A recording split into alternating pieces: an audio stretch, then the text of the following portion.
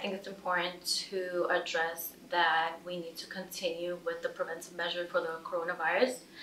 Um, obviously, the social distancing, um, continue with your mask, hand washing.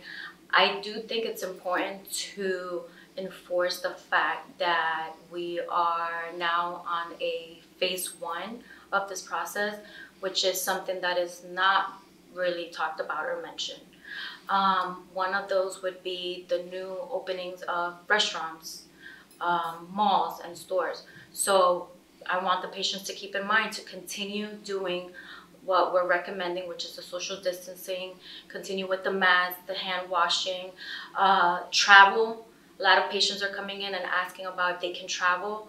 Um, what I would recommend, don't do it unless you have to.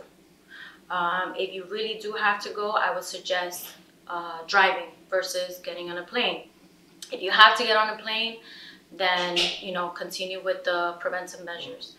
Um, I want to I want the patients to know and the community to know that um, it's important to keep in mind that we're going through different phases and this is the first one and i think it's the most important one to consider on how our lives um, have to be adjusted within the next year or so because we're anticipating that this is going to be a long process.